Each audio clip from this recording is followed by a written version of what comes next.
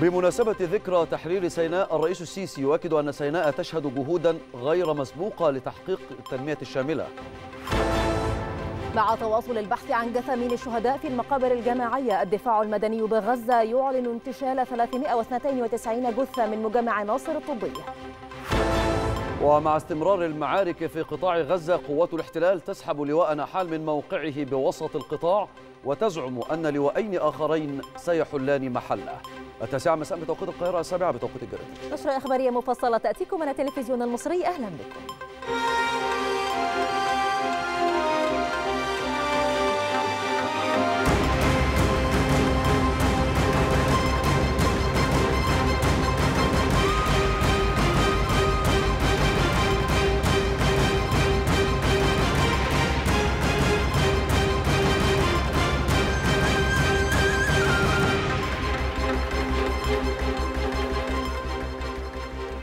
اليوم مصر تحتفل بالذكرى الثانية والأربعين لتحرير سيناء تلك الأرض التي تحررت بالحرب والدبلوماسية والتي ستظل شاهدة على قوة مصر وشعبها وجيشها. بالتزامن مع تثبيت دعائم الأمن والاستقرار بها نجحت الدولة في خلق واقع متميز وملموس على أرض الفيروز بعد أن عكفت على إدماجها في قلب عملية التنمية الشاملة على الأصعدة كافة خلال عقد من الزمن.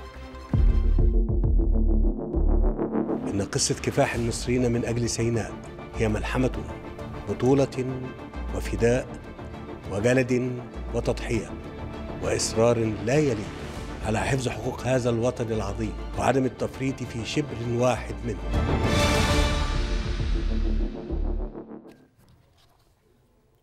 أكد الرئيس عبد الفتاح السيسي أن سيناء لطالما كانت موضعا للاستهداف والعدوان. وفي كلمة بمناسبة الذكرى الثانية والأربعين لتحرير سيناء أشار الرئيس السيسي إلى نجاح شعب مصر العظيم وفي طليعته القوات المسلحة الباسلة في حماية وصون سيناء.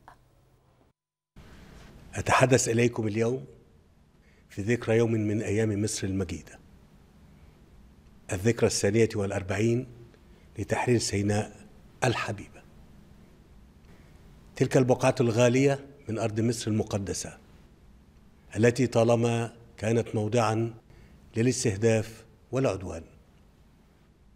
وطالما نجح شعب مصر العظيم وفي طليعته القوات المسلحة الباسلة في حمايتها وصونها والحفاظ عليها. جزءا لا يتجزأ من تراب مصر الطاهر. شعب مصر الكريم إن قصة كفاح المصريين من أجل سيناء هي ملحمة بطولة وفداء وجلد وتضحية وإصرار لا يلين على حفظ حقوق هذا الوطن العظيم وعدم التفريط في شبر واحد منه. وهو منهج طالما شكل الأسس الراسخة للوطنية المصرية والمحددات الرئيسية للأمن القومي.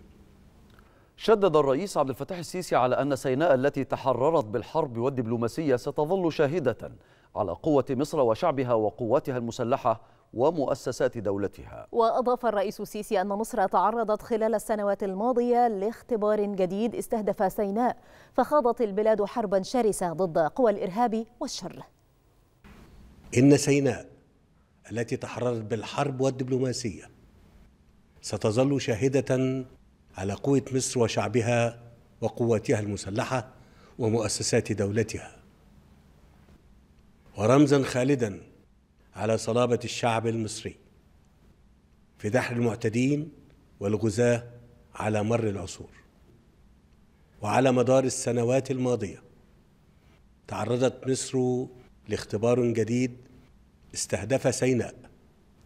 وخضنا حربا شرسة ضد قوى الإرهاب والشر التي ظنت واهمة أن بمقدور عملياتها الإرهابية إضعاف عزيمتنا. ولكن تحطم الشر على حصون الخير والشرف. وقدم الشعب شهداء أبرار من أبنائه الكرام في القوات المسلحة والشرطة المدنية. ليدفعوا بدمائهم الغالية. ثمن حماية سيناء بل ومصر كلها من الإرهاب والتطرف.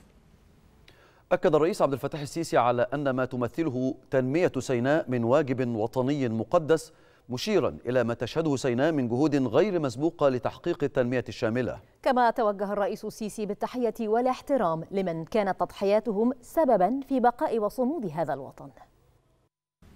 وكما كانت الحرب من أجل تحرير سيناء واجبا وطنيا مقدسا. وكذلك كانت الحرب من أجل تطهيرها من الإرهاب فإن تنمية سيناء وتعميرها هو واجب وطني مقدس أيضا. واليوم تشهد سيناء جهودا غير مسبوقة لتحقيق التنمية الشاملة في الصحة والتعليم والبنية الأساسية. وجميع مقومات العمران والصناعة والزراعة. في إطار مشروع قومي ضخم يستحق أن يقدم المصريون التضحيات اللازمة من أجل تنفيذه.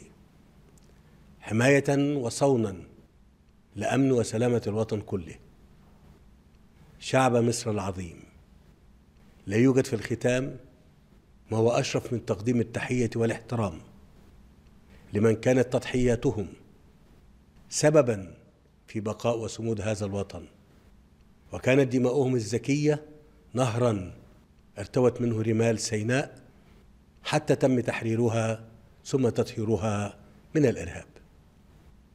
تحية إعزاز وتقدير لشهداء مصر الأبرار ذوي الكرم والفداء وأصحاب المروءة والبطولة ورمز الكرامة والتضحية. أكد الرئيس عبد الفتاح السيسي أن التطورات التي شهدها الإقليم والحرب الإسرائيلية على قطاع غزة قابلها موقف مصري واضح منذ اللحظة الأولى برفض تام لتهجير الفلسطينيين من أراضيهم إلى سيناء أو إلى أي مكان آخر حفاظا على القضية الفلسطينية من التصفية. وأضاف الرئيس السيسي أن مصر تحرص على العمل في إطار ثوابتها الراسخة لإرساء السلام والأمن والاستقرار والتنمية في المنطقة.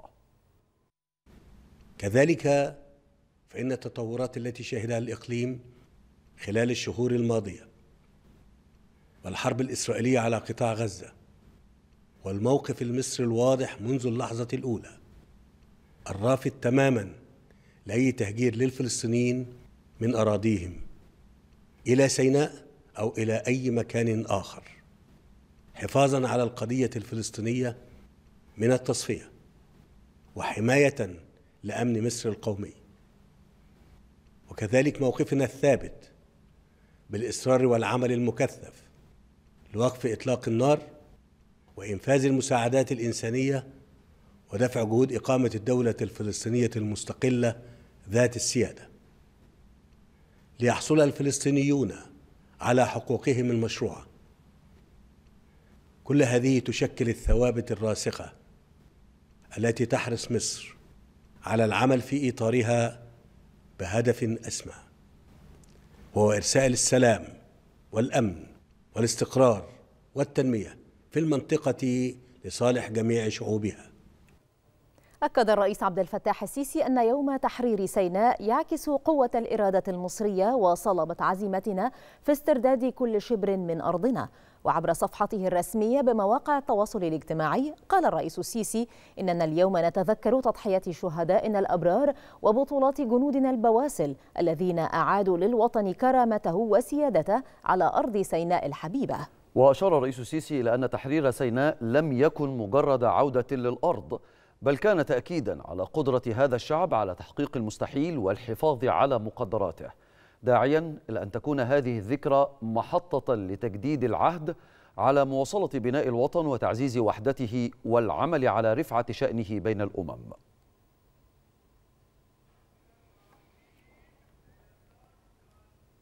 قالت السيدة انتصار السيسي إنه في مثل هذا اليوم عادت رايات مصر خفاقة فوق كل شبر من سيناء. جاء ذلك خلال منشور لها عبر مواقع التواصل الاجتماعي بمناسبة عيد تحرير سيناء حيث وجهت السيدة انتصار السيسي تحية واجبة لكل من ضحى ولكل من خاض أشرف المعارك كي يستعيد الوطن عزته وهيبته.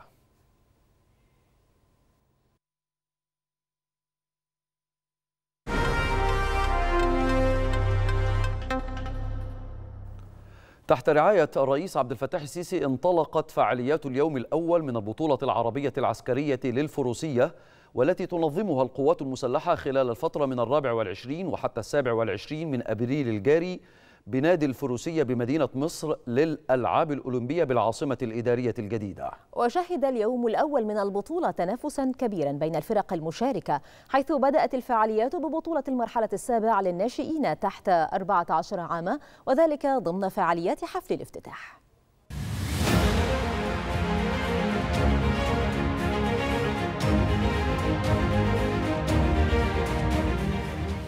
تحت رعاية السيد الرئيس عبد الفتاح السيسي رئيس الجمهورية القائد الأعلى للقوات المسلحة.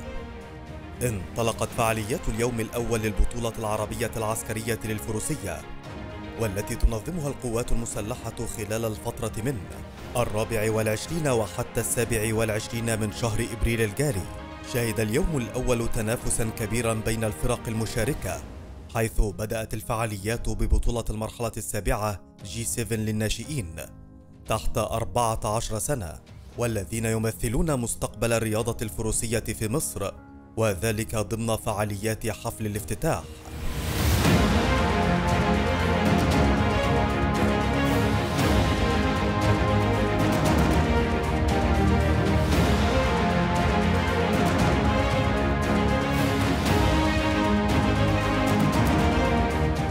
وعلى صعيد مباريات الفرق بالبطولة العربية العسكرية لقفز الحواجز والتي شارك بها تسع دول عربية. نجح الفريق المصري في تحقيق المركز الأول فيما جاء الفريق القطري في المركز الثاني والفريق السوري في المركز الثالث.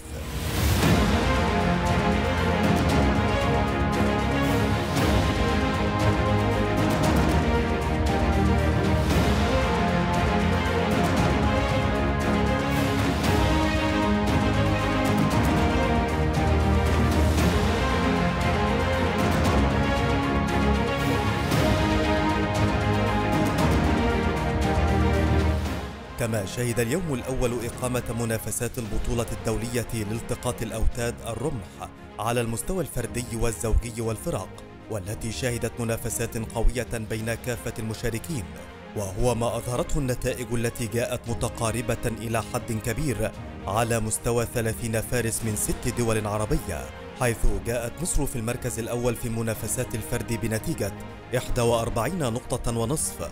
فيما جاءت الأردن بالمركز الثاني بنتيجة 41 نقطة.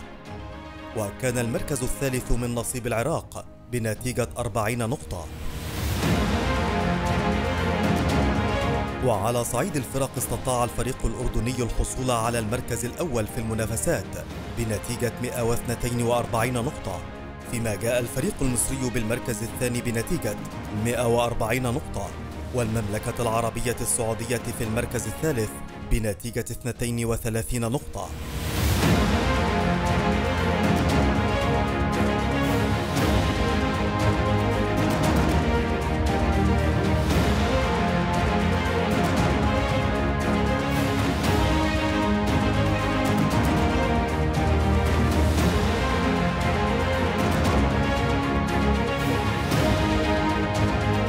البطولة انطلقت اليوم تحت رعاية فخامة الرئيس عبد الفتاح السيسي وهذا كان طبعا وسام كبير لرياضة التقاط الأوتاد وللبطولة بشكل عام سواء هي البطولة العسكرية العربية للفروسية مصر 2024 هذا وسام كبير افتتاح منشآت في مستوى عالي جدا.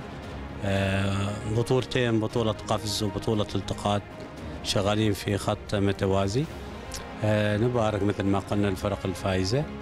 وكذلك نبارك للفرق الفائزة في قفز الحواجز.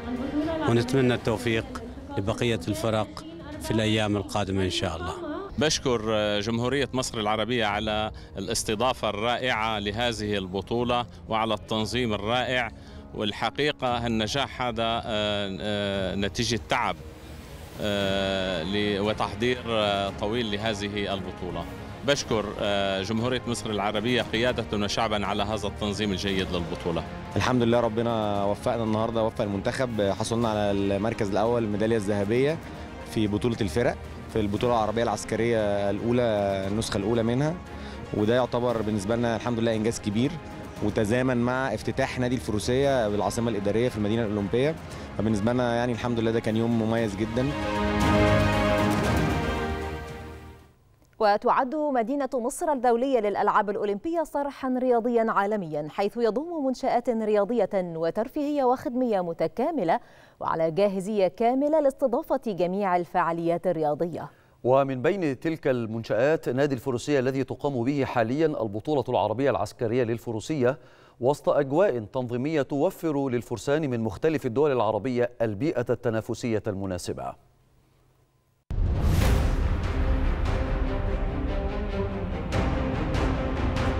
العاصمة الإدارية الجديدة. هي رؤية طموحة لمستقبل أفضل لمصر تمتزج فيها الأصالة بالمعاصرة.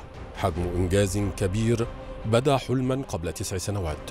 لكن إرادة التحدي والبناء حول الحلم إلى حقيقة.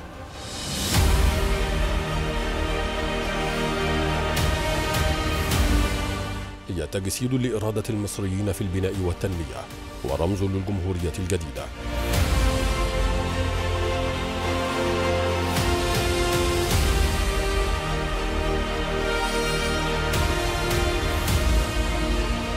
مدينة مصر الدولية للألعاب الأولمبية بالعاصمة الإدارية الجديدة صرح رياضي عالمي. يعبر عن اهتمام مصر بالرياضة وتسخير الإمكانات لإنجاح البطولات العالمية التي تحتضنها المدينة.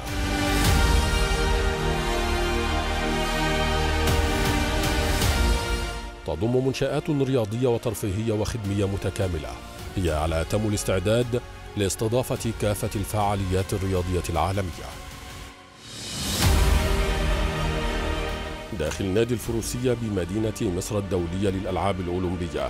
تقام فعاليات البطولة العربية العسكرية للفروسية في نسختها الأولى تحت رعاية السيد الرئيس عبد الفتاح السيسي رئيس الجمهورية في الفترة من الرابع والعشرين حتى السابع والعشرين من أبريل.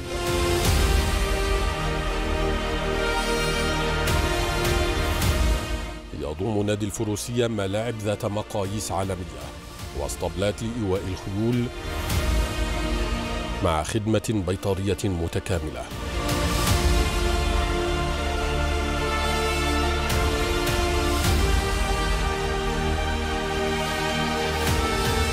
إضافة إلى التجهيزات التنظيمية التي تضمن نجاح البطولات المقامة عليه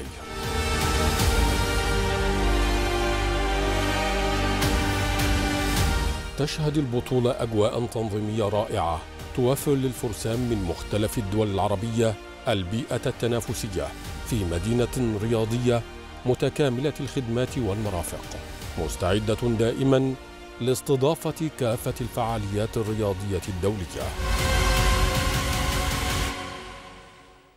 أفرج قطاع الحماية المجتمعية بوزارة الداخلية عن 476 من نزلاء مراكز الإصلاح والتأهيل تنفيذا للقرار الجمهوري بشأن الإفراج بالعفو عن بعض المحكوم عليهم ممن تنطبق عليهم شروط العفو.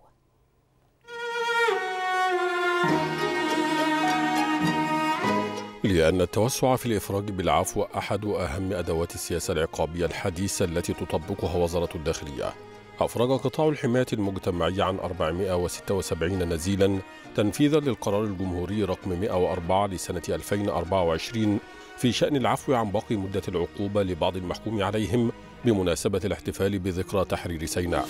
دلوقتي ننسى اللي كان وبكرة مليان بالأمان وقد أقام قطاع الحماية المجتمعية احتفالية للمفرج عنهم بمركز الإصلاح والتأهيل 15 مايو.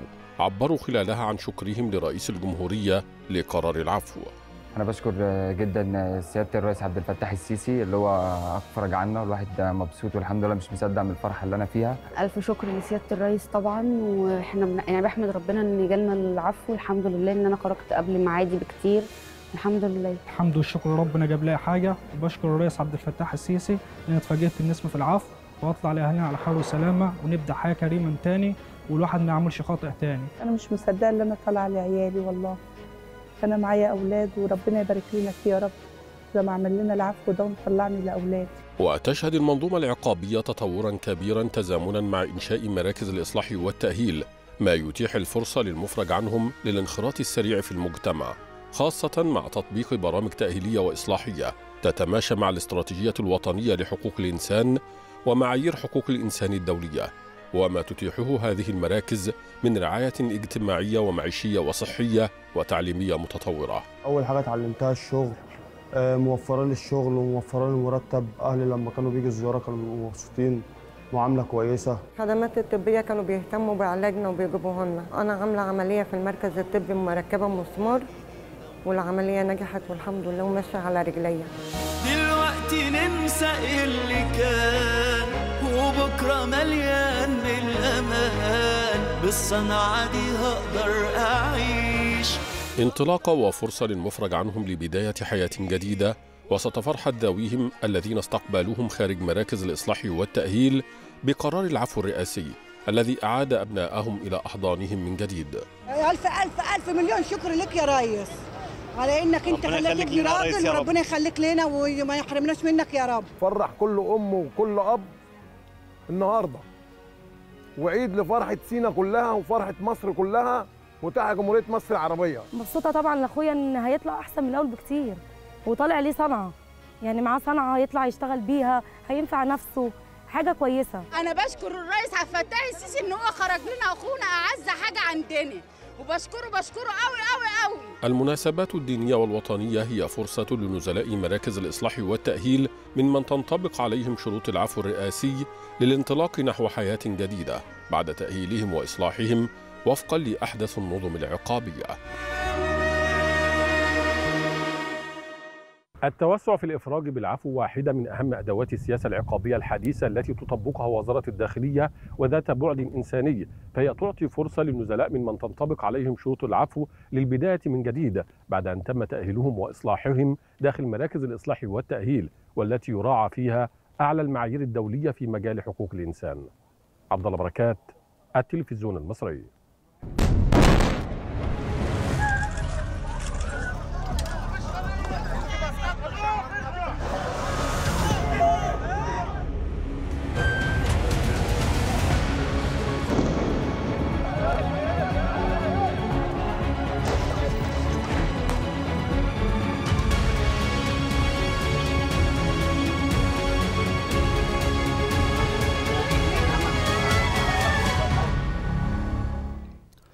تواصل قوات الاحتلال عدوانها على أنحاء قطاع غزة لليوم الثاني بعد المئتين على التوالي تزامنا مع قصف مدفعي وجوي طال منشآت ومنازل فلسطينية وبنى تحتية ومساجد. حيث شنت قوات الاحتلال على منازل في بلدة خزاعة شرق خان يونس ومدينة رفح بجنوبي القطاع. العديد من الغارات فضلا عن استهداف جسر وادي غزة وسط القطاع كما استهدف الاحتلال منطقة الشاطئ غربية غزة وحي الزيتون بغزة بالإضافة إلى استهداف طائرة استطلاع إسرائيلية محيط مسجد البلد القديم وسط دير البلح وسط قطاع غزة.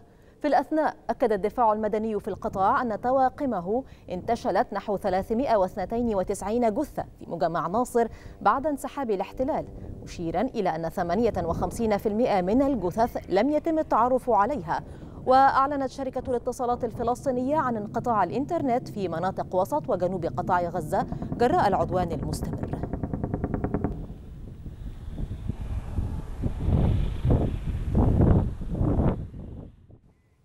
في الأثناء أكدت السلطات الصحية في قطاع غزة أن قوات الاحتلال ارتكبت خمس مجازر خلال الساعات الأربع والعشرين الماضية أسفرت عن استشهاد 43 فلسطينيا و64 مصابا آخرين. وأعلنت السلطات الصحية ارتفاع عدد ضحايا العدوان الإسرائيلي على قطاع غزة إلى 34305 شهداء و77293 مصابا منذ السابع من أكتوبر الماضي بينما لا يزال العديد من الضحايا تحت ركام المنازل المهدمة وفي الطرقات.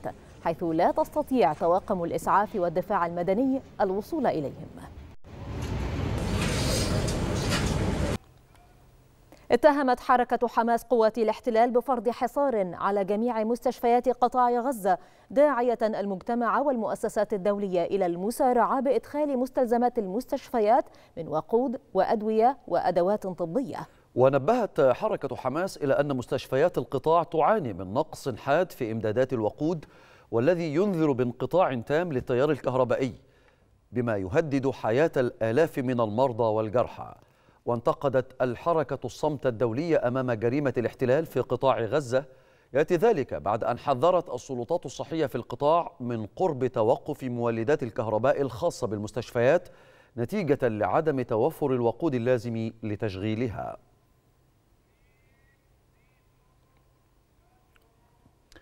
أكد المتحدث باسم الأمم المتحدة ستيفان دوغاريك أن فريقا تابعا للمنظمة الدولية في قطاع غزة تعرض لإطلاق نار خلال تواجده بالقطاع. وأوضح دوغيريك أن الفريق الدولي الذي كان يتفقد موقع الرصيف البحري ومنطقة انطلاق عمليات المساعدات البحرية واضطر إلى البحث عن مأوى لبعض الوقت بعدما تعرضت المنطقة لإطلاق نار مشيرا إلى قذيفتين سقطتا على بعد حوالي 100 متر من الفريق دون وقوع إصابات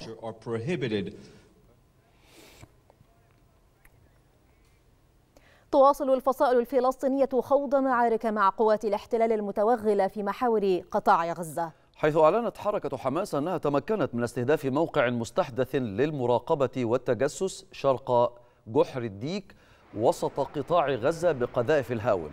كما أعلنت الفصائل تمكنها من قصف حشود لآليات قوات الاحتلال شرق مدينة خان يونس جنوبي القطاع فضلا عن قصف مقر قيادة فرقة غزة في مستوطنة رعيم برشقة صاروخية. في المقابل أعلن الاحتلال الإسرائيلي إصابة أحد عشر عسكريا من قواته في معارك مع الفصائل الفلسطينية بقطاع غزة خلال ال 24 ساعة الماضية. وهو ما يرفع عدد مصابي قوات الاحتلال إلى 3305 ضباط وجنود منذ السابع من أكتوبر الماضي.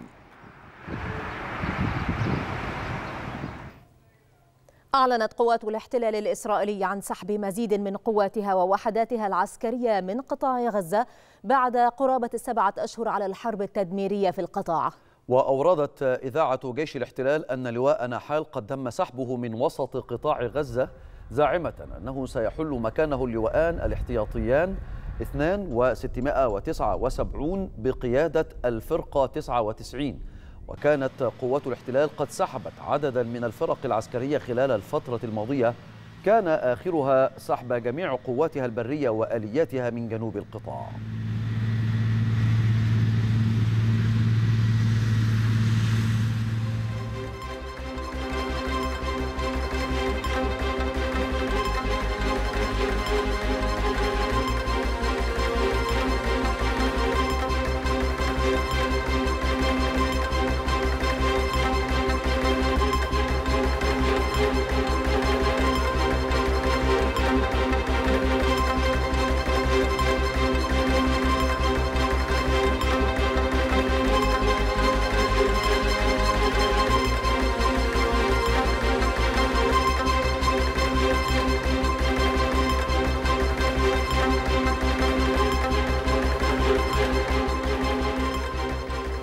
التاسعة مستمرة وتتابعون فيها.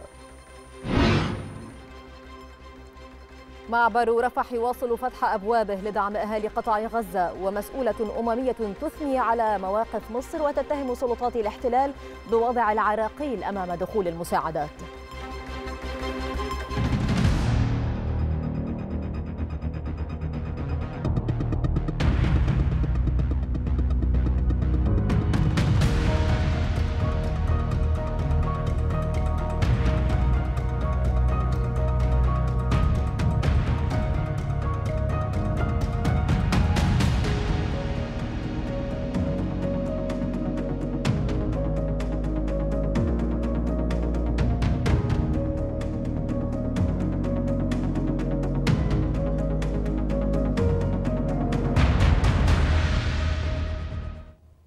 أعربت المقررة الخاصة للأمم المتحدة في الأراضي الفلسطينية المحتلة فرانشيسكا ألبانيز عن شكرها لمصر على تسهيل زيارتها إلى معبر رفح مؤكدة أن المعبر مفتوح من الجانب المصري. وخلال مؤتمر صحفي شددت المقررة الأممية الخاصة على أهمية زيادة كميات المساعدات التي يتم إدخالها للمدنيين في قطاع غزة. With special thanks to the Ministry of Foreign Affairs of Egypt أشكر مصر على تسهيل رحلتي بين معبر رفح والقاهرة. المعبر مفتوح من الجانب المصري لكن إسرائيل هي من تعرقل عمليات الدخول إلى القطاع. كما أشكر الأطباء المصريين الذين قاموا بعلاج عدد من المصابين الفلسطينيين في المستشفيات المصرية. الأوضاع في قطاع غزة مروعة. هناك عدد من الفلسطينيين الذين وصلوا إلى مصر بإصابات خطيرة. الأمم المتحدة ومحكمة العدل الدولية طالبتا إسرائيل بضرورة الوقف الفوري لإطلاق النار في القطاع لكن ذلك لم يحدث. نؤكد أن حياة الفلسطينيين مهمة وبعد الزيارة إلى رفح نشدد على حاجة المدنيين في غزة للكثير من المساعدات على اختلاف أنواعها. كما أكدت المقررة الخاصة للأمم المتحدة في الأراضي الفلسطينية المحتلة فرانشيسكا ألبانيز أهمية التركيز خلال الفترة الراهنة على حماية المدنيين في قطاع غزة. هذا وأشارت إلى ضرورة منع خطة إخلاء الفلسطينيين من أراضيهم في مدينة رفح الفلسطينية. willing, is neither willing nor الأهم خلال الفترة الراهنة هو التركيز على حماية المدنيين الفلسطينيين وليس على عملية السلام. في بداية الحرب حذرنا من خطر استهداف إسرائيل للبنية التحتية في قطاع غزة وسعيها نحو تهجير الفلسطينيين من أراضيهم. لا مبرر لما يحدث للفلسطينيين، والغرب يعمل على التحضير لإخلاء الفلسطينيين من أراضيهم في رفح الفلسطينية، وهو أمر ينبغي منعه. وإذا كانت هناك خطة للهجوم على رفح الفلسطينية وإخلاء الفلسطينيين فمن الطبيعي أن ترفض مصر ذلك. هذا ويواصل معبر رفح البري فتح أبوابه أمام دخول شاحنات المساعدات الإنسانية لدعم الأشقاء الفلسطينيين داخل قطاع غزة بالإضافة لدخول شاحنات الوقود. كما يواصل المعبر استقبال الجرحى والمصابين لتلقي العلاج بالمستشفيات المصرية. 200 يوم مرت على عدوان الاحتلال الإسرائيلي على قطاع غزة. مدة طويلة لم تتوانى مصر لحظة خلالها عن دعم الأشقاء الفلسطينيين من خلال هذه البوابة التي لم تغلق يوما واحدا. فكان معبر رفح البري النافذة الإنسانية لإغاثة من تبقى على قيد الحياة. فهذه بوابة دخول شاحنات المساعدات حيث دخل من خلالها آلاف الشاحنات والأطنان من المساعدات الغذائية والطبية والإغاثية منذ الحادي والعشرين من أكتوبر الماضي وبلغ حجم المساعدات المصرية منها أكثر من 80% وتلك بوابة خروج المصابين والجرحى والتي كانت شاهدة أيضا على خروج آلاف المصابين لتلقي العلاج بالمستشفيات المصرية. لتبقى هذه البوابة شاهدة على الملحمة المصرية تجاه الأشقاء الفلسطينيين. وبعد مرور 200 يوم على عدوان الاحتلال الإسرائيلي على قطاع غزة تواصل مصر جهودها في إدخال المساعدات الإنسانية واستقبال الجرحى والمصابين بالإضافة لجهودها السياسية التي تسعى من خلالها لوقف إطلاق النار. جهود تؤكد دعم مصر لقضية العرب الأولى دائما وأبدا حتى تعود الأرض لأصحابها. محمود جميل التلفزيون المصري.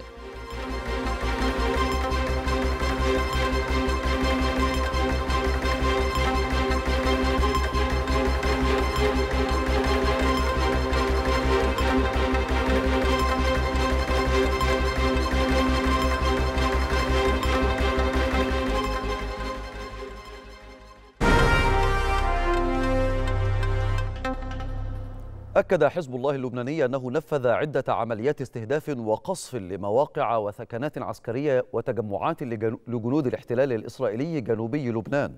وأوضح حزب الله أنه استهدف مقر عين مرغليوت للمدفعية عبر المسيرات وموقع زبدين العسكري في مزارع شبع المحتلة فضلا عن قصف انتشار لجنود الاحتلال في محيط موقع الظهيرة بالأسلحة الصاروخية. يأتي ذلك بعد غارات إسرائيلية استهدفت شاحنة للمحروقات قرب بعلبك في شرق لبنان بمنطقة بعيدة عن الحدود ما أسفر عن إصابة شخص بجروح.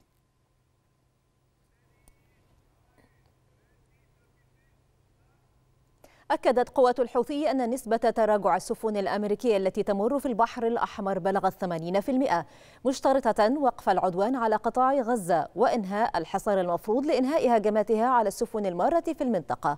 وذكرت هيئة عمليات التجارة البحرية البريطانية أن دوي انفجار قد سمع مصحوبا بتصاعد للدخان على بعد 15 ميلا بحريا جنوب غربي اليمن. يأتي ذلك في حين اعترضت سفينة يونانية طائرتين مسيرتين لقوات الحوثي في البحر الأحمر. وأوضحت وزارة الدفاع اليونانية أن السفينة تشارك في المهمة البحرية للاتحاد الأوروبي في البحر الأحمر. في غضون ذلك أعلنت القيادة الوسطى الأمريكية أنها دمرت أربع مسيرات فوق مناطق تسيطر عليها قوات الحوثي في اليمن.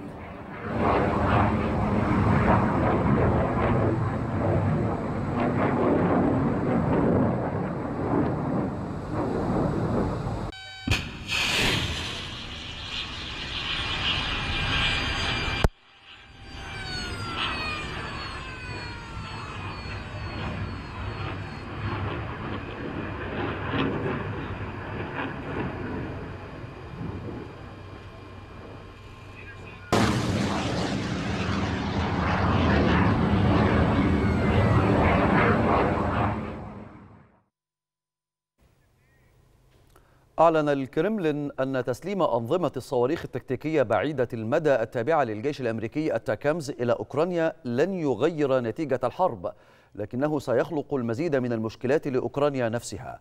وصرح المتحدث باسم الكرملين ديمتري بيسكوف أن الولايات المتحدة متورطة بشكل مباشر في هذا الصراع وأنهم يتبعون طريق, زيادة نطاق تشغيل أنظمة الأسلحة التي يزودونها. في الأثناء صرح مسؤول أمريكي وفقا لوكالة رويترز بأن الولايات المتحدة شحنت سرا في الأسابيع الأخيرة صواريخ طويلة المدى إلى أوكرانيا التي استخدمتها مرتين حتى الآن. وأضاف أن الصواريخ استخدمت لأول مرة في السابع عشر من أبريل ضد مطار روسي في شبه جزيرة القرم على بعد نحو 165 كيلو مترا من الخطوط الأمامية الأوكرانية.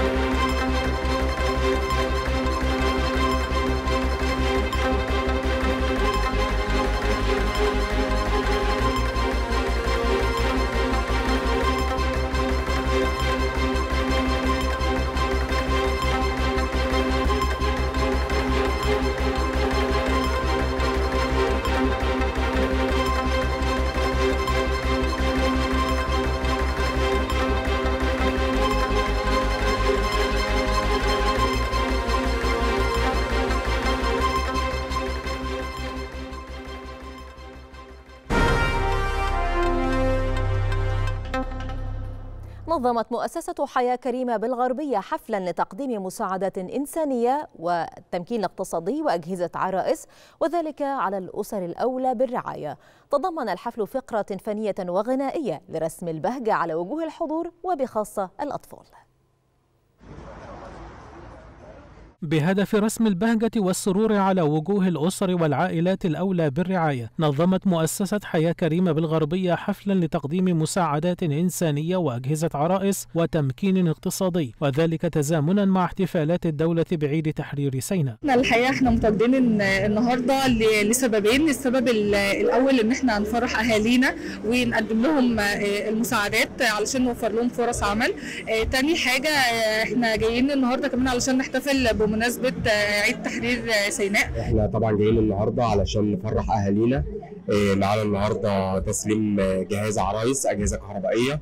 ومعانا تسليم برضه تروسيكلات آه، عشان يبقى مصدر دخل للحالات الأولى بالرعاية. الحفل تضمن فقرات فنية وغنائية وتنورة لرسم البهجة والسرور على وجوه الحاضرين وبخاصة الأطفال إلى جانب توزيع الأجهزة الكهربائية والتروسيكلات والكراسي المتحركة على المستحقين. النهارده هنلاقي إن إحنا موجودين بتجهيزات عرايس بتروسيكلات تمكين اقتصادي آه، بنفرح بوجود الناس معانا بنفرح إن إحنا بنقدم لهم مساعدة آه، بس إحنا موجودين كمتطوعين بننظم المكان وبنساعدهم آه، بنحاول نوفر لهم أحسن آه، سبل الراحة. بنسلم النهارده مجموعه من أجهزة العرايس آه، اجهزه للعرايس ومجموعة من التروسيكلات كنوع من أنواع التمكين الاقتصادي عندنا في حياة كريمة.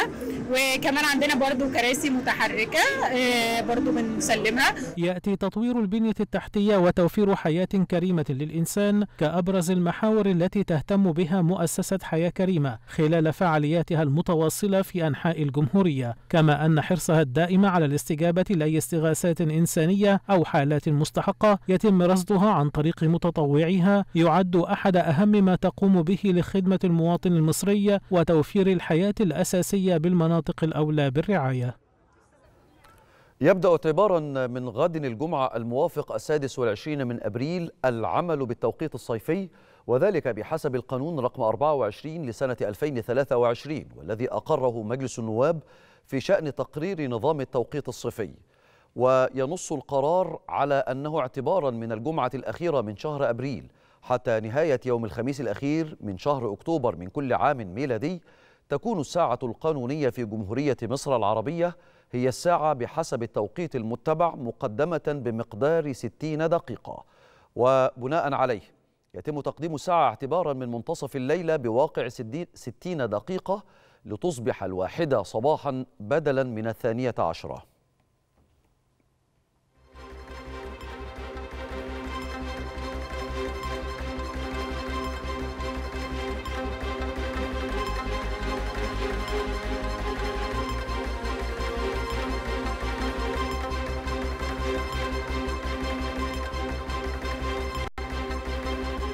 والآن ننتقل لمتابعة أهم وآخر الأنباء الاقتصادية في هذه النشرة. أخبار المال والأعمال والجولة الاقتصادية ومصطفى ميزار إليك مصطفى. شكرا يوسف عبدين شكرا ليلى عمر. أهلا بكم مشاهدينا الكرام في أولى محطاتنا في نشرة التاسعة أخبار المال والأعمال في هذه النشرة.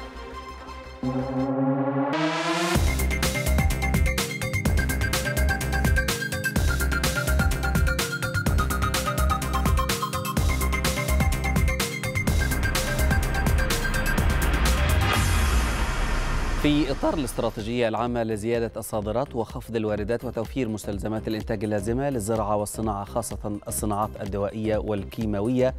تلقى وزير قطاع الأعمال العام محمود عصمت تقريرا.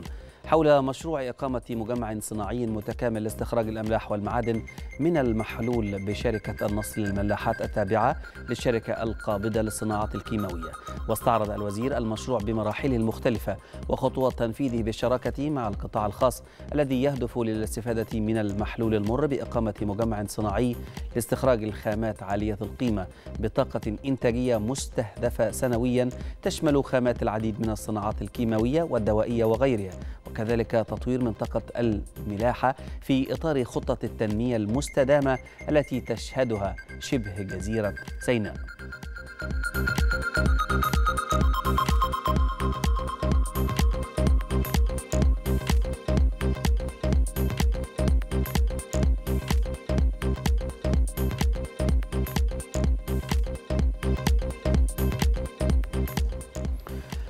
في أسواق البترول العالمية انخفضت أسعار النفط خلال التعاملات مع تراجع للطلب على الوقود.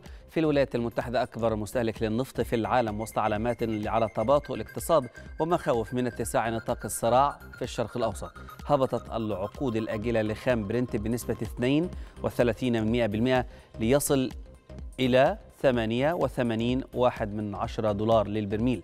كما انخفضت العقود الأجلة لخام غرب تكساس الوسيط الأمريكي بما نسبته 53 من 100 بالمئة لتصل إلى 82 دولار و92 سنتا للبرميل. هذا وقد تراجعت أيضا أسعار المازوت عالميا بنسبة 95 من 100 بالمئة لتصل وتحقق ما قيمته 2.53 من دولار للتر وهبطت أسعار الغاز الطبيعي بنسبة 54 من 100 بالمئة لتسجل 1.64 من دولار لكل مليون وحدة حرارية بريطانية. تراجعت معظم أسواق الأسهم في منطقة الخليج مع تقييم المستثمرين لأحدث أرباح تعلن عنها الشركات بينما أثرت الصراعات الجيوسياسية في المنطقة على المعنويات هبط في هذا التوقيت المؤشر السعودي بنسبة 8 من 10% وفي بورصتي الإمارات ارتفع مؤشر دبي بواحد من عشرة بالمئة واستقر مؤشر أبو ظبي مائلا قليلا نحو الانخفاض ونزل المؤشر القطري ثلاثة من عشرة بالمئة.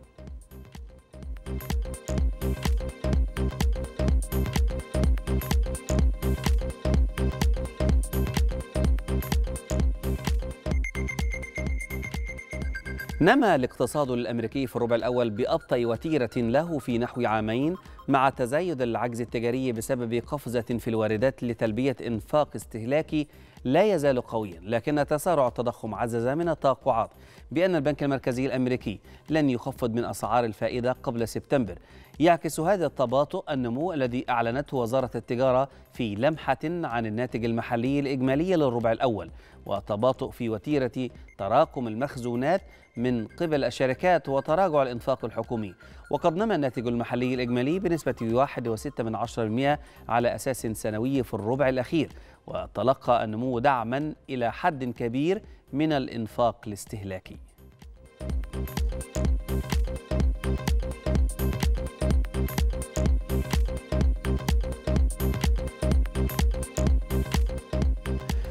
تراجع عدد الأمريكيين الذين قدموا طلبات جديدة للحصول على إعانة البطالة الأسبوع الماضي على غير المتوقع مما يشير إلى استمرار قوة أوضاع سوق العمل. قالت وزارة العمل الأمريكية إن عدد الطلبات المقدمة للمرة الأولى للحصول على إعانة البطالة تراجع بواقع 5000 طلب إلى مستوى معدل في ضوء العوامل الموسمية والذي بلغ 207000 خلال الأسبوع الماضي. كان خبراء اقتصاد قد استطلعت رويترز آراءهم قد توقعوا أن يبلغ عدد الطلبات 215 ألف في الأسبوع الماضي.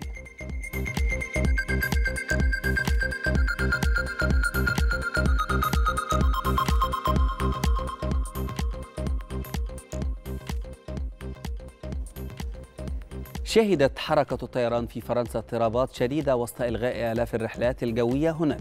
أعلنت الرابطة الرئيسية لشركات الطيران الأوروبية أعلنت إلغاء أكثر من ألفي رحلة جوية في أوروبا. معظمها كان بنطاق وينطلق من فرنسا ويتوجه إليها. فضلا عن وجود أكثر من ألف رحلة جوية أخرى قد تضطر إلى تحويل مسارها لتجنب المجال الجوي الفرنسي. يأتي ذلك في الوقت الذي أعلنت فيه أكبر نقابة للمراقبين الجويين في فرنسا التراجع عن الإضراب الذي كان مقرر بعد اتفاقها في اللحظة الأخيرة مع المديرية العامة للطيران.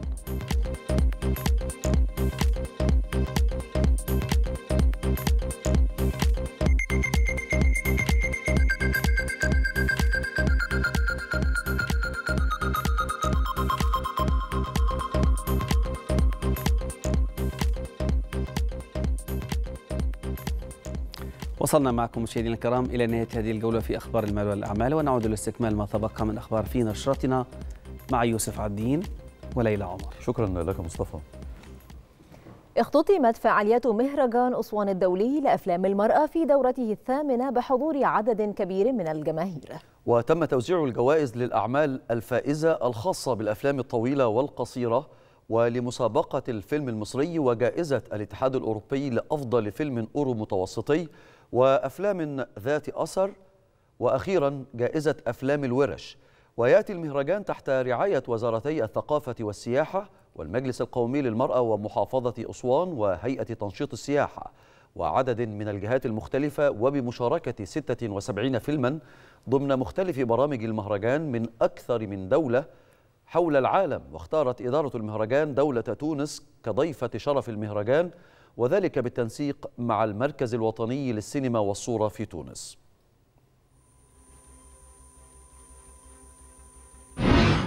سعيدة جدا بمشاركتي في مهرجان أسوان للمرأة. هو مهرجان مهم جدا آه للنساء عموما في العالم العربي لأنه آه بيحفزهم إنه آه ينشروا ثقافتهم وبرضه بيشجعهم على إنه آه المرأة ممكن تلقى مكان في أي آه مجال يعني.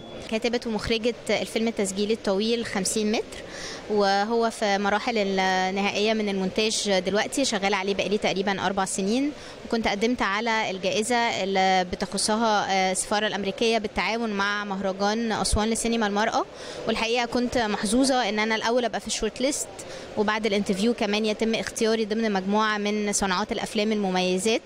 آه والحقيقة هنبقى محظوظين أكتر آه لما هنحصل على الجائزة الخاصة بالسفر لمدة أسبوع في ولاية كاليفورنيا في أمريكا. أنا بتسلم الجائزة نيابة عن كوثر. بن هنيه لفيلم بنات ألفا. فأنا فرحانة إنه كوثر وفيلمها ناجحين واخذين الجوائز. والجائزة مب ألف مبروك الكوثر وألف مبروك لتونس. المسابقة الأولى كانت مسابقة أفلام الورش اللي هي فاز فيها فيلم تعيش أنت.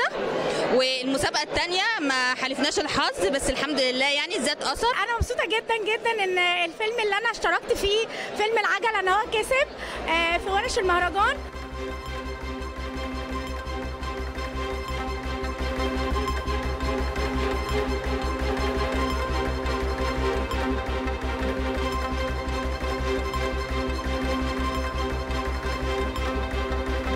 والآن مع آخر أخبار الكرة والملاعب. مرة أخرى مصطفى ميزار في انتظاركم وطائفة من آخر أخبار الرياضة. إليك مصطفى. شكرا ليلى عمر شكرا يوسف عبدين أهلا بكم مشاهدينا الكرام في محطتنا الثانية نستعرض فيها عالم الساحرة المستديرة محليا وعالميا.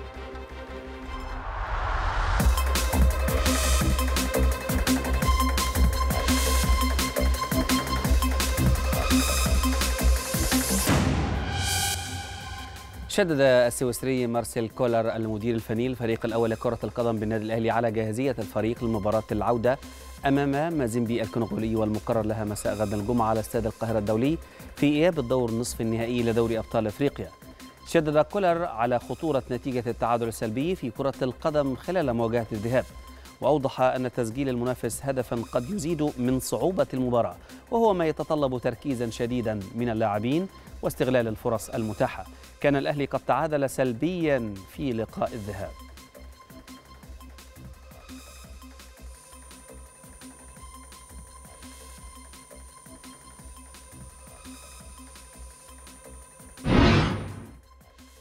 عملنا نتيجة كويسة في في الماتش الأولاني لكن هي برضو نتيجة مش على أرض الواقع هي نتيجة صعبة. لو دخل فينا جون أو أي حاجة فده هيبقى الموضوع هيبقى صعب علينا.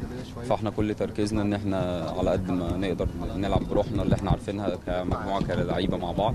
وإن شاء الله ربنا الحظ معانا ونقدر نكسب بإذن الله ونصعد النهائي إن شاء الله. أتمنى طبعا إن هم يكونوا موجودين بأكبر عدد ممكن الماتش اللي جاي لأن ده أعتقد من من أهم ماتشات الموسم إنك لازم الجمهور يبقى موجود عشان تعرف تاخد الحماس والدافع إنك تبقى موجود في النهائي إن شاء الله يعني.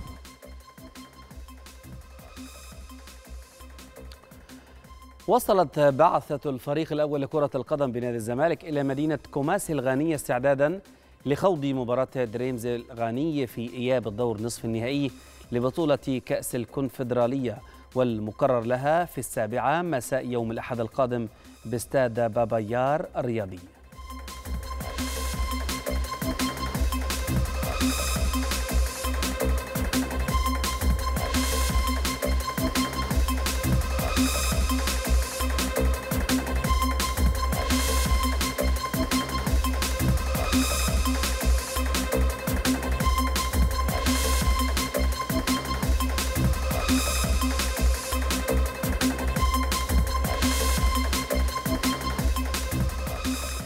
تأهلت كوكو جوف إلى الدور الثالث من بطولة مدريد المفتوحة للتنس بفوز ساحق على الهولندية أرانتكسا روس بواقع 6-0 و6-0 واحتاجت الأمريكية المصنفة الثالثة للبطولة إلى 51 دقيقة لتكمل أول فوز لها في البطولة وتواجه في الدور القادم الأوكرانية ديانا باسترياسكا المصنفة رقم 31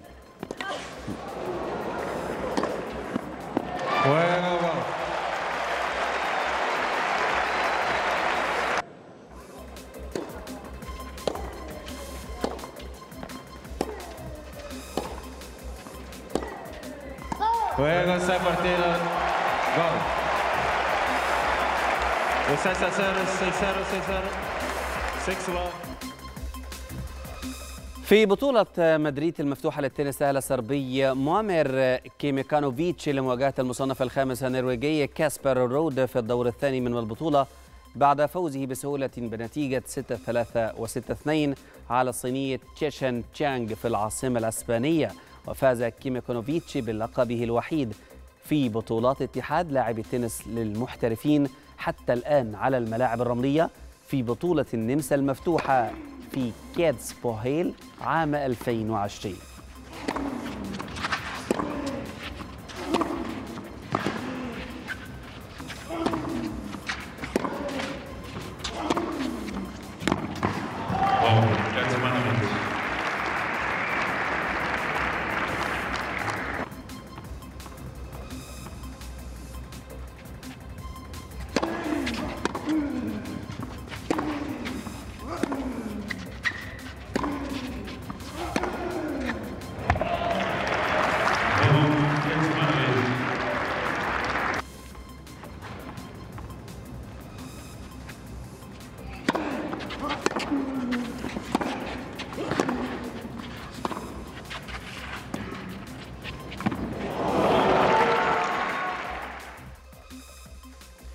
انتهت هذه الجولة مشاهدينا الكرام في أخبار الكرة والملاعب محليا وعالميا. نعود لاستكمال ما تبقى من أخبار مع يوسف وليلى. شكرا لك مصطفى. ضربت أمطار غزيرة ورياح تقترب من قوة الإعصار جنوب الصين مما أدى إلى إخلاء بلدة بأكملها. يسكنها أكثر من 1700 شخص في إقليم جوانج دونغ وأكدت السلطات الصينية أن حافلة وطائرة هليكوبتر نقلت جميع سكان بلدة جواندونغ في منطقة شاوقوان إلى بر الأمان مع وصول فيضانات جديدة للمدينة. هذا وتسببت الأمطار والعواصف الأخيرة والناجمة عن ظاهرة النينيو المناخية في وقوع انهيارات طينية خطيرة بالمدينة وغمرت المنازل ودمرت الجسور.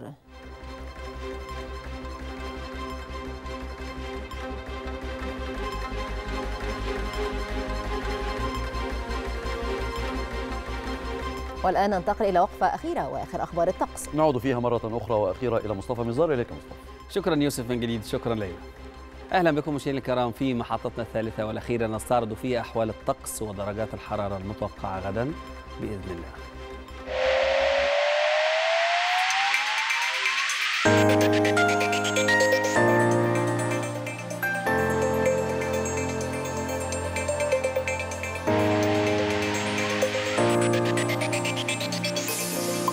يتوقع خبراء هيئة الأرصاد الجوية أن يسود البلاد غدا الجمعة طقس شديد الحرارة نهارا على كافة الأنحاء فيما يسود ليلا طقس مائل الحرارة على أغلب الأنحاء ومعتدل على السواحل الشمالية مع نشاط للرياح المثيرة للرمال والأتربة على مناطق من غرب البلاد والمناطق المكشوفة من القاهرة الكبرى والوجه البحري وشمال الصعيد.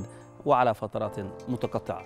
وفيما يلي مشاهدينا الكرام بيان بدرجات الحرارة المتوقعة غدا على محافظات ومدن الجمهورية نبدأها من محافظة القاهرة. فيها درجة الحرارة العظمى 29 درجة والصغرى 17 درجة والجو فيها معتدل في الإسكندرية 23 16 والجو فيها حار في مطروح 21 14 معتدل في بورسعيد 25 20 مائل للحرارة وفي الإسماعيلية 30 18 شديد الحرارة. في محافظة السويس 28 درجة والصغرى 18 درجة والجو فيها مائل للحرارة. في العريش 24 16 الجو فيها معتدل في طابة 36 20 الجو فيها حار في شرم الشيخ 36 25 شديد الحرارة في الغردقة 34 22 والجو فيها حار.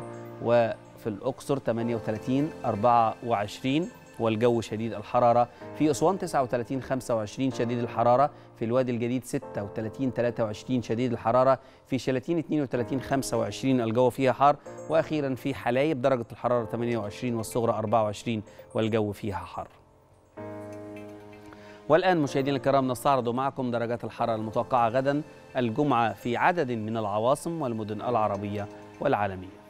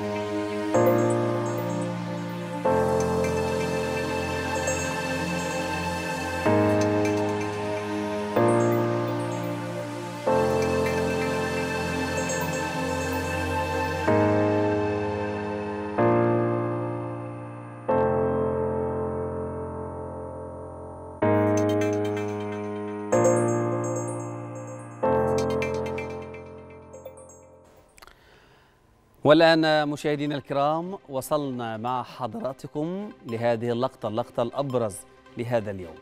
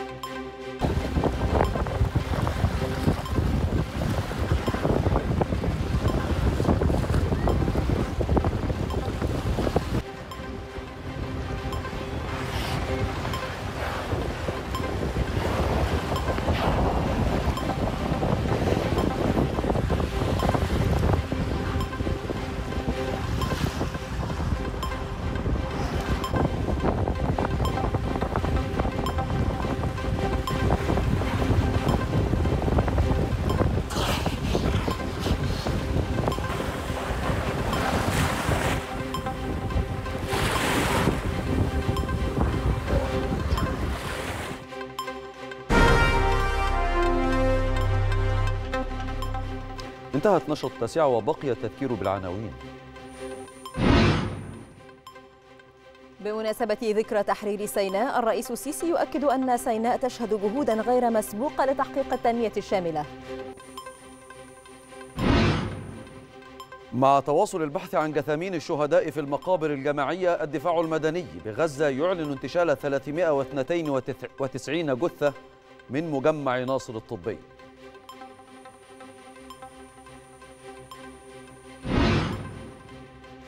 استمرار المعارك في قطاع غزة قوات الاحتلال تسحب لواء نحال من موقعه بوسط القطاع وتزعم أن لواءين آخرين سيحلان محله.